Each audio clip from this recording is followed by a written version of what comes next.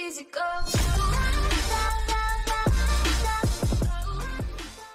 Hey, what is going on guys? It's your boy here, and today we're going to be looking at the 2018 Acadia Denali inside of Pembroke Pines. This card is inside of the normal game pass for 20 well, for $41,820. Now, is this card worth the you?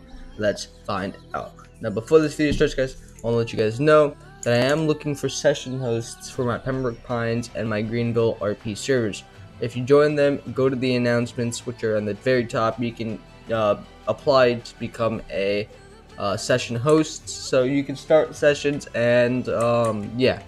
So let's just get into this review without me interrupting. And uh, yeah, so looking at the Acadia Denali, it it's like a weird mix of two cars I can't really remember off the top of my head.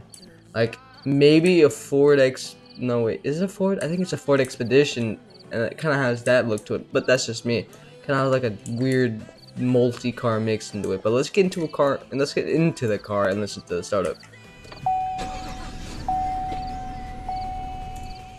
Alright, so startup is pretty basic. Most cars in this game have the startup, and pretty much yeah.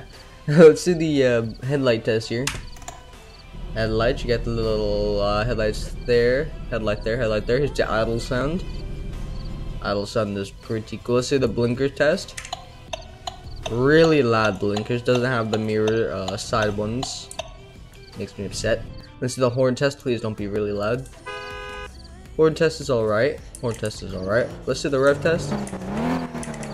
Rev test is alright. Now, I don't know if I'm forgetting anything, so if I did, my apologies. But we're going to be doing the top speed test now. And uh, while we're doing the top speed test, I want you guys to know that I have an RP group, a Pembroke Pines, and a Greenville RP group. Links will be in the description. I also have some socials, you can follow those. And if you're liking this video so far, hit that like button and subscribe uh, for more daily content. And we've hit our top speed of 125. Let's do the brake test starting from the side. Acceleration was pretty bad. Braking is alright from that side to here. Braking, braking from 125, I'd say it's that's all good.